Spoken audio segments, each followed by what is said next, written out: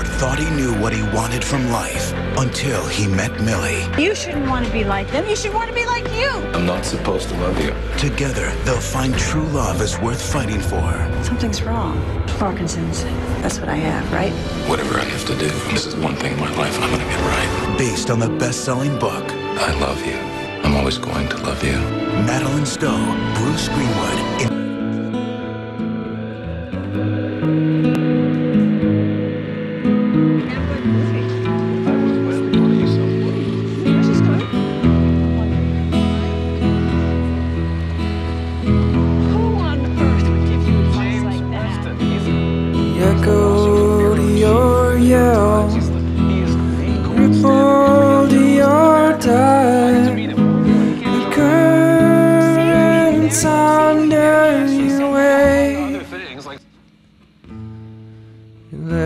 Electricity is part of me. I give it up to you. We were charged with the pounding pulse. So Milly, by being Milly, had saved my life. Just in time for me to try and save hers. Get your father right now.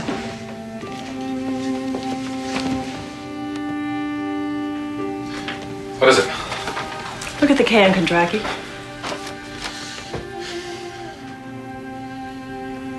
Milly, I don't. Look at the R. Okay, you gotta help me out here. They're crooked, Mort. They're crooked, the letters. They're fine. There's nothing wrong. Oh, no, you don't get it. Look, they felt crooked. And look at this.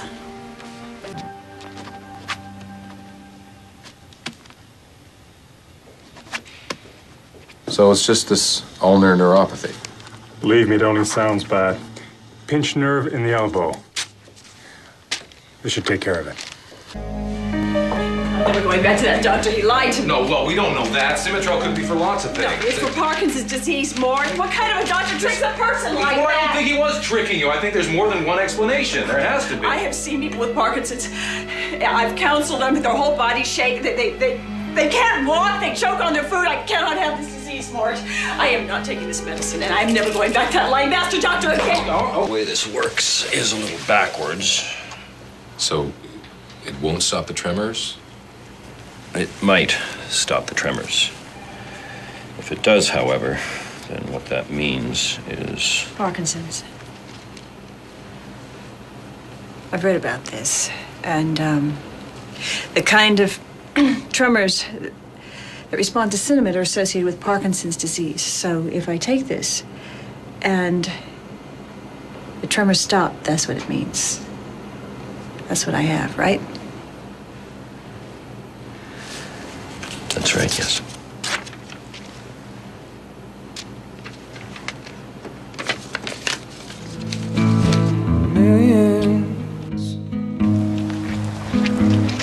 People die from this, don't they? Yeah, some do, but not everybody. Lots of people live with Parkinson's for 30 or 40 years. Yeah, but how?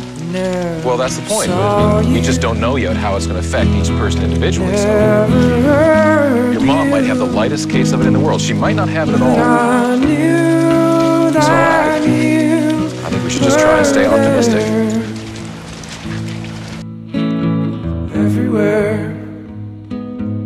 The doctors say rest and conserve your energy, and then you start these night workshops, and then it costs you. That's because there's a need. No, you, what you need is to conserve your energy, and what you need is to cut back. If I do that, my clients will quit. No, your clients aren't going to quit. They love you. They're not going anywhere. But you should start thinking about seeing fewer of them. Honey, you almost fainted yesterday. Your blood pressure's out of control. I mean, you're losing weight. You can't afford to lose. And then you start with these, uh, these new projects that you don't have the strength to finish. What are you trying to say? I'm trying to say, slow down. Just a grain What I'm more concerned with the effect of of all these medications sand, having. needing water Principally, I'm seeing dehydration, which alone is enough to interfere with the Sinemet's ability to do its job. So what do we do? I think we should go back to zero. Take you off everything, gradually. Then start again with the Sinemet, in precise, measured doses, until we can determine what's ideal. Afternoon, Mrs. Kondracke.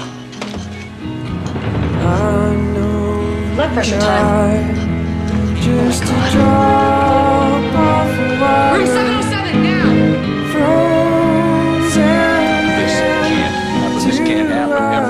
like a living corpse. Well, part of the I want her back in the Sinemet. I want her back in the Sinemet yesterday, and don't you give me a reason why that can't be done. All right, we can do that, we can do that. But Mort, there's, there's something else. I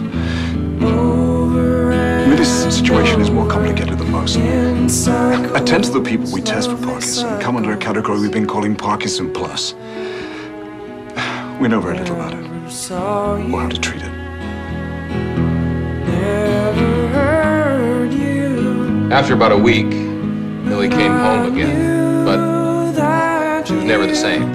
After that, she had less control over her body, and her speech was getting worse. And sometimes she'd get so depressed that she'd talk about killing herself, and then in the next breath, she'd bring in a new client or add some other project to take on, and nothing I said, nothing anybody said, could slow her down.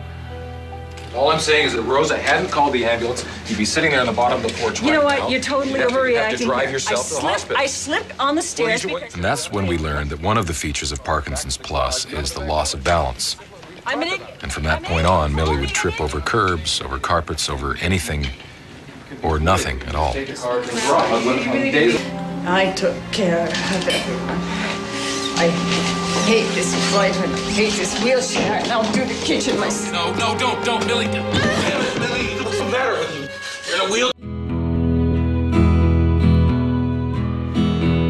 Echo to your yell, ripple your dive, the currents under your waves, electricity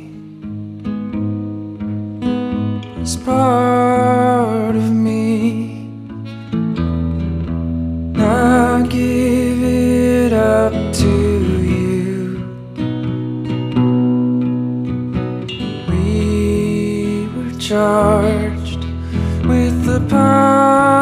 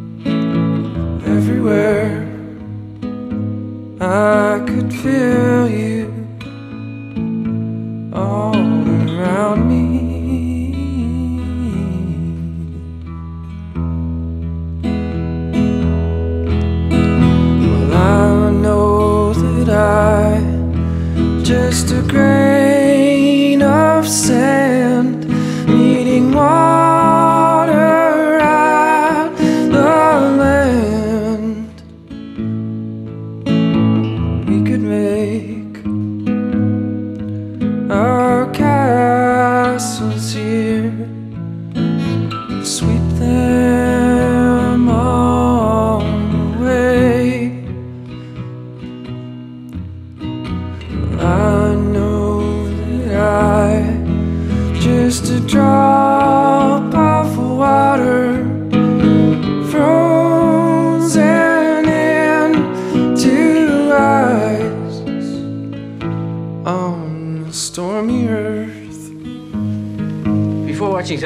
probably knew a little bit about me. Probably something about Mort. Well, now you've met Milly. And I'm sure you'll never forget her.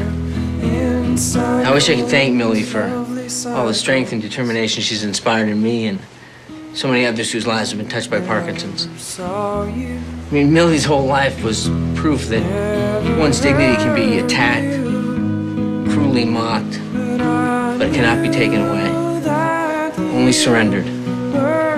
Milly never surrendered. Just like thousands of others who aren't surrendering. Nor should they have to. In the 80s, doctors said that with the right attention and resolve, and with the funding, Parkinson's could be cured in a matter of five to ten years. Well, now, two decades later, they're still saying the same thing. Thank you, and good night.